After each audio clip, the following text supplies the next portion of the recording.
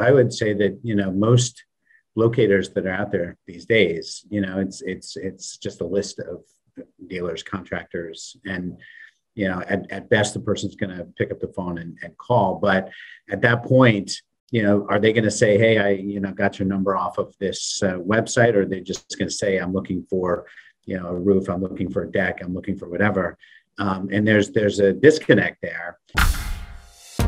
Welcome to the Smarter Building Materials Marketing Podcast, helping you find better ways to grow leads, sales, and outperform your competition. All right, everybody, welcome to Smarter Building Materials Marketing, where we believe your online presence should be your best salesperson. I am Zach Williams alongside my co host, Beth Popnikolov. And today we're talking about the manufacturer and dealer relationship.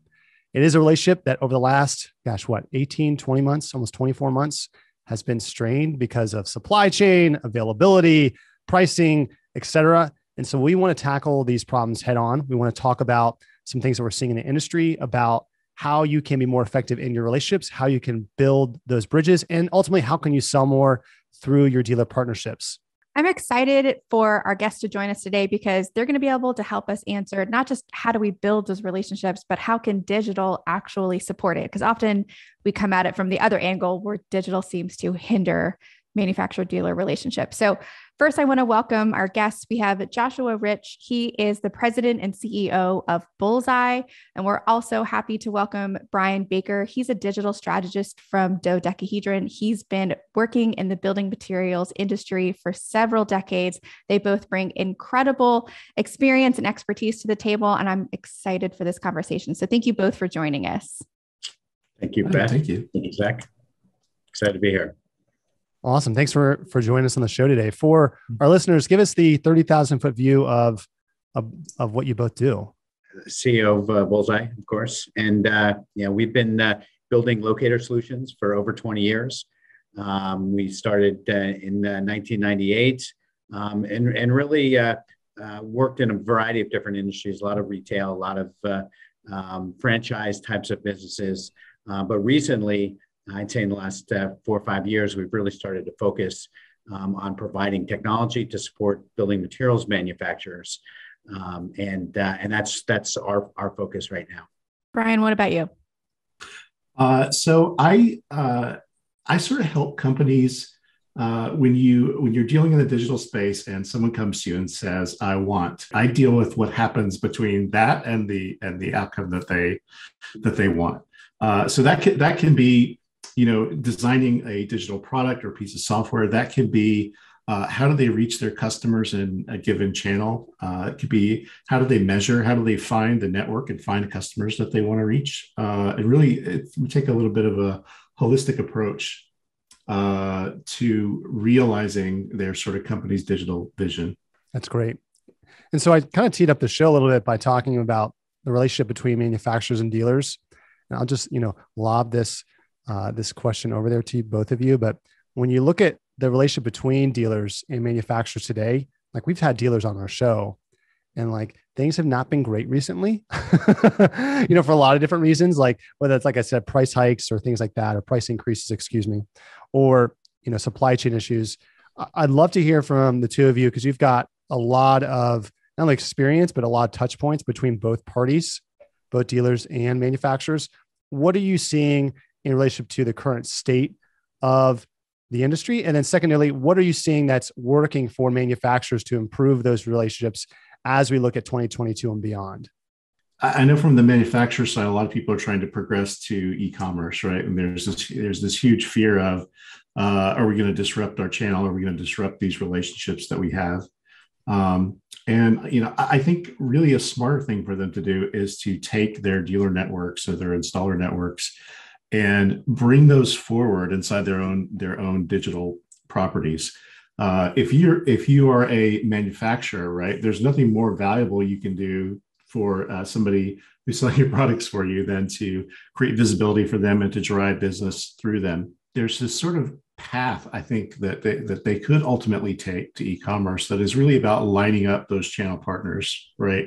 Rather than trying to replace them or, or supplant them with some, you know, um, online service or an Amazon or something like that. And I think that it really comes down to this to how visible they're going to make those partners in in their website in their website. Um, so, for example, if I have if I'm a flooring company and I have a network of installers, uh, it's you know really about marketing them, right? Uh, I know they're going to sell my products and install my products, but how can I support them? How can I advocate for them? How can I drive business through for them? So, and I and I, and I see it, uh, you know, a lot from the perspective of of the manufacturer, and and even sort of uh, how digital strategies are are shifting, um, because I think they're looking at uh, at opportunities to leverage the the uh, the the contractors or dealers and, and the locations uh, and get them more engaged in in uh, in selling their their products. So, you know, if you're a manufacturer and uh, and and you've got a program to train contractors on how to install your product. Um, and you're able to give them different certifications and, and leverage those certifications uh, to to uh, to give them exposure uh, through your website, um, to give them uh, the ability to, to market and promote themselves, um, then they're going to be more more in, engaged in selling your, your product. And so so we're seeing that um, with a lot of manufacturers. And and of course, you know, the challenge is, you know, how do you get all of your dealers to to participate? And, and great, dealers, qu- great point. how do you We're get- very interested to hear the answer. um, because you know some dealers are a different level of technological sophistication than than others. Uh, some are, you know, they've they've been around for a long time and they, you know they they don't want to adopt new technologies, and so I, I think that that as a manufacturer, um, you need to look at it as as you know there's there's a transition here and and people are going to continue to adopt new technologies and laying uh, investment into that now um, and encouraging those that are willing to participate in the technology. And, and of course, they benefit and they get the rewards of you know, uh, sending them new business and new opportunities. And I think that becomes a, a feedback loop, a positive feedback loop, and and uh, is over time going to to be sort of the, the future. You know, you're going to be conducting uh, those relationships through through an online experience. So Joshua, that leads me perfectly into my next question, which Brian, you mentioned something important, which is, you know, how are we furthering what dealers are doing and bringing that into, you know, the digital ecosystem of what manufacturers are able to control?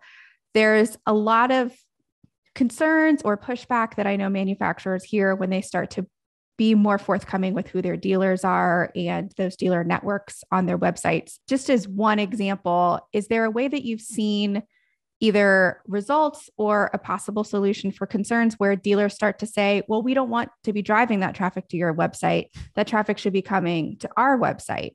Are they going to see a dip in traffic? Are they going to potentially lose leads that they would otherwise get? How would you respond to that? Um, you know, uh, uh, if you're talking about in the context of a uh, manufacturer's site, right? Uh, when you when you move through that website experience, right? Somebody has either in there's a content marketing strategy there, or there's a product catalog there. Somebody has looked that up on Google. They've come through to your website. They've read through all the materials that you've provided, and your sort of bottom of the funnel is uh, in a lot of cases going to be go to here's time to go to a dealer or it's time to go to an installer um, and in that you know in that case it's not you're not really replacing uh, those guys function. Their websites tend to be much more general right? Whereas the manufacturer has an obligation uh, to create a bias towards their particular product or their particular service. Um, one good thing about that is you can start to create a chain where you're moving somebody down the funnel and it's like oh, okay uh, now I can actually see amongst my dealer locations, uh, you know, who might who might have a showroom. Where can I go see these things hand on, hands on, uh, or even who specifically should I talk to at a given uh, dealer or location? So uh, I've done work before in the, in the roofing space. I know that you know if a roofing contractor goes to a a roofing distributor location, right? They sell all the brands there, right? So how do I make sure that who I'm connecting them with is going to sell my product or we're going to sell my brand, right? And that's really what you want to make sure that you're doing on the manufacturer's website is you're creating a bias for your brand uh, through your marketing efforts or through your product uh, capabilities, and you need to make sure that you pass them all the way down the chain to somebody that's actually going to going to fulfill that. Can Can you give me an example, Brian, of how to do that well? Like, because that's the one thing we hear a lot is like, as a manufacturer, let's say you connect the dots for whether it's a contractor, a homeowner, a builder, whoever it might be, and you get them in front of that dealer.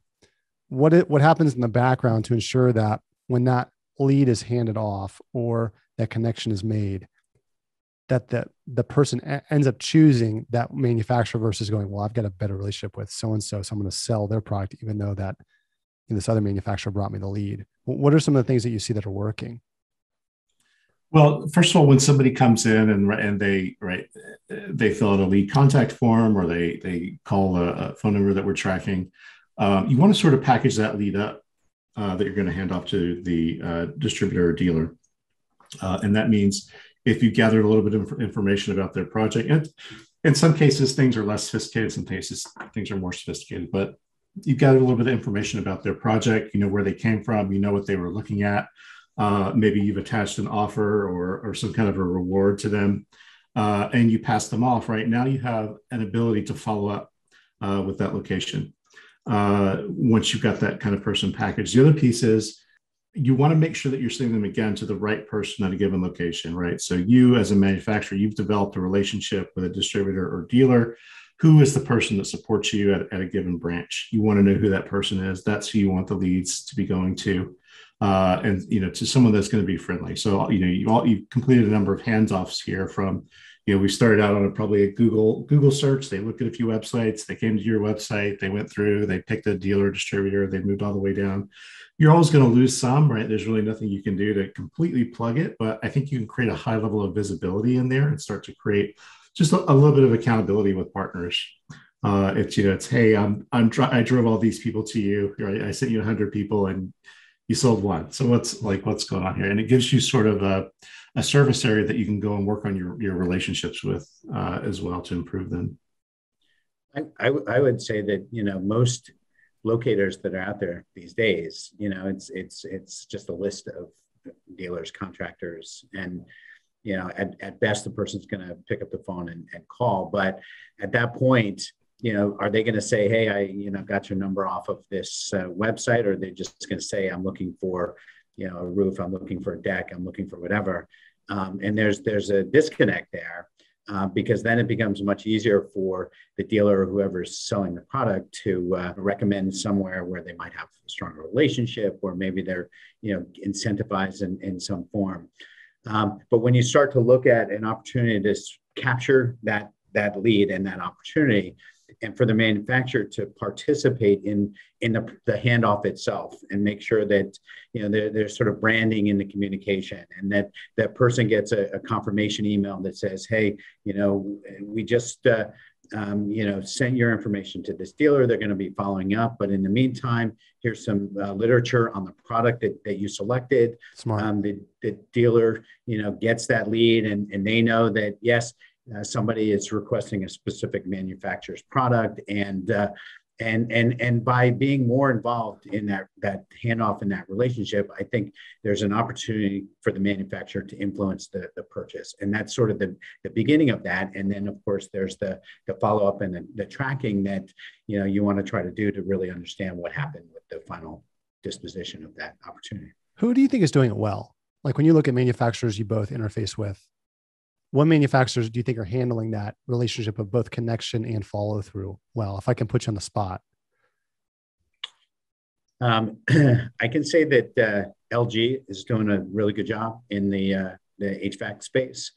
Um, they have a, a, network of premium uh, premier uh, dealer installers um, and uh, and they're uh, they're getting leads um, on a regular basis. They're following up there's uh, there's an integration with uh, Salesforce on the back end uh, that is providing uh, uh, information back to sort of the, the, the you know our platform Bullseye, um, so that they've got reporting and can really see uh, what's going on and, and how those leads were converted. Um, so I think that, that LG is a, a really good example of someone who's doing a good job. As we're at the end of the year, I can imagine that a lot of manufacturers are assessing their marketing collateral, their marketing tech stack, whatever that is website, social media presence, and obviously dealer locator. And frankly, Zach mentioned at the beginning of the show, we're hearing dealer locators be something that comes up in conversations more and more, partly because it's become more apparent how frequently the channel is switching where they buy based on availability. So, all that being said, if I'm a manufacturer and I'm assessing my dealer locator, or frankly, lack thereof, can you give me a checklist of, you know, a dealer locator for it really to perform in a way that's going to make a difference for both you and your dealer from a sales standpoint? It needs to have these, you know, three to five to seven pieces.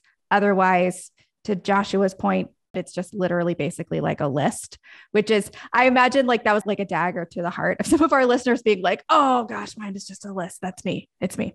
So if you want to move beyond the list, what would that checklist look like? I love it. I love this. Like I'm about to take notes. I'm just going to preface. I'm like, let's let's hear it. I mean, I think the first transition is you want things to be sort of rich and visual. Uh, you know, nothing. I mean, if you talk about creating, it's like here's a list of business names and addresses, but if you really want to create trust, uh, it's oh, here's actually a picture of the location. Here's a picture of their showroom. Here's a picture of the guy that I'm going to meet, and there they are. Right? It really lets you know that uh, somebody's home there, right? And they're alive on the other end of this connection. It's like, oh, I, I know who I'm going to meet now. So I feel a lot safer about talking to them. Um, so that's one thing that I would say. I would also say that, um, you know, the if if, if you kind of look talk about just sort of the list analogy, uh, there doesn't tend to be a lot of options for filtering or connecting to people to the right dealer location for their situation. So if I'm, for example, if I'm looking for a roofing contractor, it's like, oh, well, I need somebody that can also do gutters, or I need somebody that can knows how to do slate roofing. Uh, and do I have to call everyone on the list and ask them, or can I kind of, you know, can I kind of get down to that and make sure I'm making a good, solid, solid connection? Yeah, and along the lines of uh, you know rich content and, and getting a feel for you know who's on the other end I, I'd say that the accuracy of the data is is really critical. And, oh and, man, that's good. That's that like needs to be retweeted. Yeah, and and the accuracy and, and the depth of the data, which which I know is is is challenging. But you know, if if you have accurate hours, for example, you know when, when a contractor is available, when a dealer uh, a showroom is open, uh, that's going to go a long way to uh, you know developing customer trust and customer customer confidence. Um, so that's a that's a big one. Another big one really is, is particularly now because of uh, you know the demand issues or the supply issues. You know, is a product in stock? You know, is is there availability? Um, does this particular dealer carry the products that uh, I'm I'm looking for?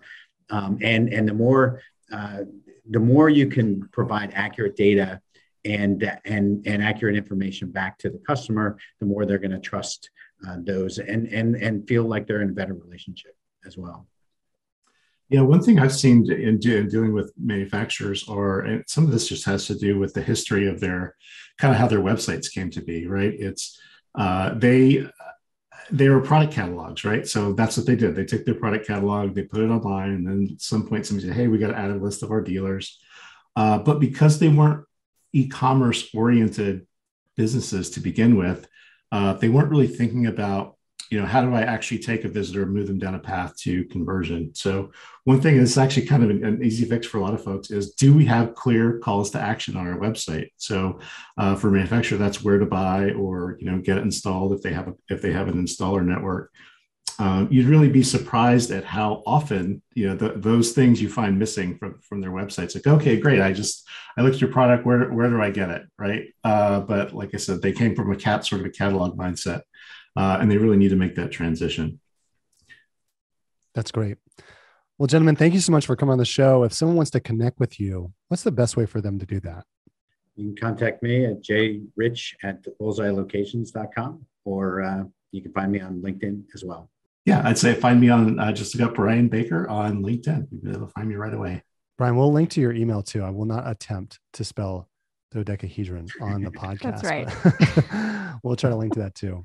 But for our listeners, you know, hope you enjoyed this show. If you, I will say we are right around Thanksgiving. If you enjoyed this show, go on to the podcast store on Apple, iTunes, give us a like, uh, give us a five star review. We'd, we'd welcome it. If you want more content like this, go to venveo.com slash podcast to subscribe. Until next time, I'm Zach Williams alongside Beth Popnikolov. Thanks, everybody.